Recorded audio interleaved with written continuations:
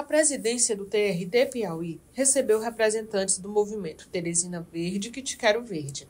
O projeto, idealizado pelo empresário Silvio Leite, tem o intuito de revitalizar e ampliar a arborização de Teresina.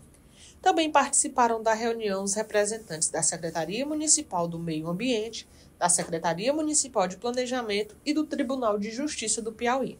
Assim como o TRT, desembargador Marco Aurélio, nós vamos bater porta em todos os lugares que as portas sejam abertas e que a gente sinta que serão multiplicadores da nossa bandeira, que é o Teresina Verde que te quero ver.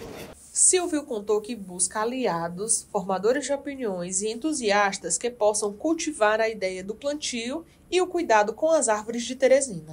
Essa cidade ela foi devastada, principalmente nas zonas sul, na zona sudeste, onde construíram os conjuntos habitacionais e não se preocuparam. E é, vai ser, depois da 2030, uma das cidades mais quentes do mundo. Admirador das causas ambientais, o presidente do TRT-22, o desembargador Marco Aurélio Lustosa Caminha, falou sobre a participação do tribunal no projeto. A ideia do projeto é bem, nos engajar, o tribunal e toda a cidade, né? mas aqui o tribunal é um convidado particularmente importante por conta das pessoas esclarecidas que podem ser né, formadores de opinião sobre o tema. Espero que o Tribunal Regional do Trabalho tenha ah, alguma forma é, oficial para contribuir com isso. Durante a reunião, todos os participantes receberam sementes de árvores nativas da região de Teresina, como ipês, caneleiros e flamboyãs.